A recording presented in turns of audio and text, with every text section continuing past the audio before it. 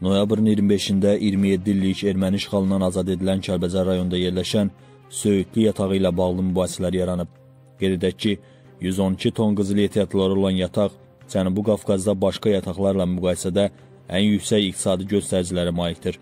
1 ton filizdə 7,3 qram qızıl var. Qeyd edək ki, ermənilər bu yatağı Zod deyə adlandırır.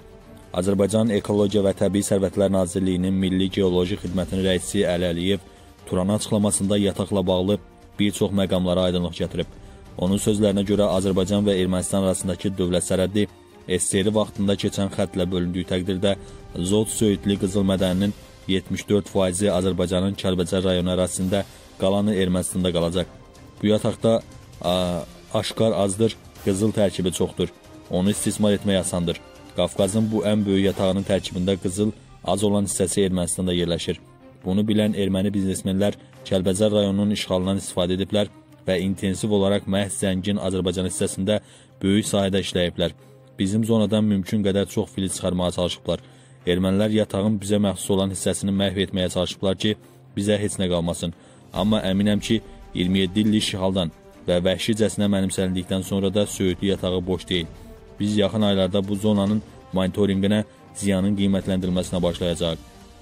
Nazirlik rəsmisi bildirib ki, adı çəkilən yatağın istismarı perspektivlərinin müəyyən texnoloji və digər spesifik məqamları var. Bizim son illər Zod yatağında operator olan Rusiya şirkəti ilə əlaqəmiz olmayıb. Noyabrın 25-dən etibarən Azərbaycan yatağın əsas hissəsi üzərində hüquqlarını özünə qaytarır. Əli Əliyevin sözlərinə görə noyabrın 27-sində nazirlikdə digər qızıl yatağı Azərbaycanın Zəngilan rayonunda yerləşən Veynəli ilə bağlı müzakirələr aparılıb. Biz onunla bağlı bütün məsələləri qaldırmışıq və artıq yaxın günlərdə onun vəziyyətinin monitorinqinə və qiymətləndirilməsinə başlayacaq. Ağdərə, yəni Tərtər rayonunun ərazisi yaxınlığındakı Qızılbulaq yatağına gəlincə, Nazirlik nümayəndəsinin sözlərinə görə Tərtər rayonunun qalan hissəsi azad edildikdən sonra da Azərbaycanın yurisdiksiyasına düşür. Bu üç yataq Söyüdlü, Veynəli və Qızılbulaq 1997-ci ilin avqustunda ERV Investmentlə imzalanmış PCA müqaviləsinə daxildir. Biz özümüz ilkin monitorinq və qiymətləndirmə apardıqdan sonra bu şirkətin mütəxəssislərini bu yataqların vəziyyətinin qiymətləndirməsinə cəlb edəcəyik.